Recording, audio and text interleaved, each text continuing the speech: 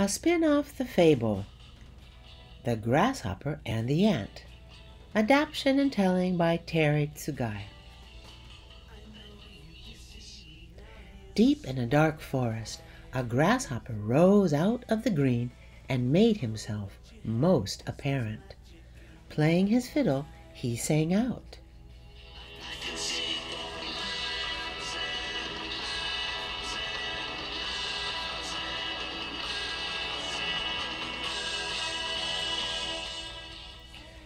Grasshoppers are dressed in forest camouflage, but it was not in Sue's nature to hide. Dear reader, what's that you ask? Yes, Sue is a girl's name. And yes, our grasshopper is a guy. Sue, a name as common and monosyllabic as the dirt and mud and leaf cover of the forest floor, and yet shine Sue did.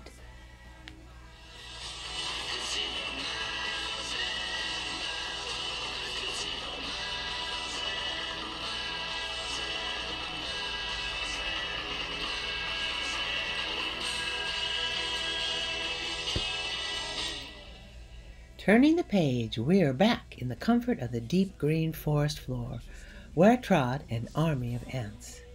And in this army, let us give particular attention to a single individual named Mike. Arty R, arty A, arty ah, ah, ah. Mike was wont to say. A common worker ant, Mike was, and very proud. Oh, I love my airy abdomen he'd sing as he patted and combed it nightly.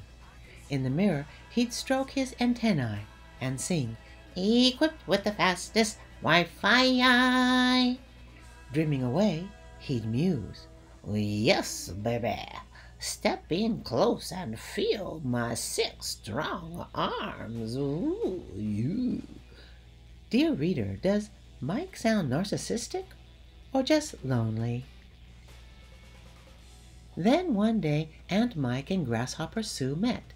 It was overcast, which dimmed Sue's shine, until he spied a line of ants. There, in razor-edged dandelion leaves, were three worker ants hauling away a burgundy bundle. Well, well, well, mind if I do? asked Sue, pulling off a plump grape. No good drinking and no driving, he exclaimed and luxuriously leaned back. But did Mike and his cohorts complain? Why, no, they did not. They continued on without saying a word. And such was the start of Sue's gig, serenading the troops for the Epicurean fare they daily provided. Well, what what what'll it be, boys? Bluegrass, Irish reel, the classics, K-pops. By request or drawn from his repertoire, Sue was a joy to hear. And yes, he was really good.